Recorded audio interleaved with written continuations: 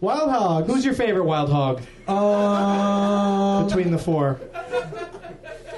probably John Travolta because when uh, in the commercial when that bird hits him, that's so funny. Pretty good. The other guys get hit with bugs, and then he's laughing. at He's them. laughing at him And the gets bird hit with a big old bird Hits him in the chest. right in the chest. Here's why what I like about that is he keeps his cool. Like I would have fall, ridden off the road. I would have fallen off the motorcycle. A bird hit him in the chest, and he's like, "This is unpleasant."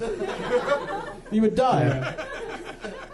Uh, Wild Hogs is one of those movies that there's so many steps along the way where it could not have been made, and yet people kept making it.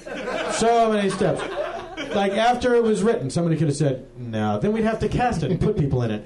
Then after it was cast, they could have looked at the cast and said, "Oh, that's a lot of money for very little return." And then, like after the initial table read, they could have said, "Whoa, we are in big trouble. Pull the plug. No one's been paid anything yet."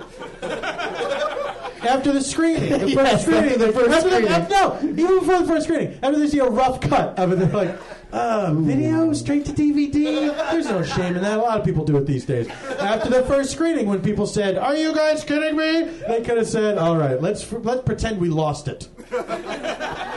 So many, after the premiere, they could have burned the theater down. They could have had some oily rags and a Zippo on hand, just in case. Look, we all know this is a big piece of shit.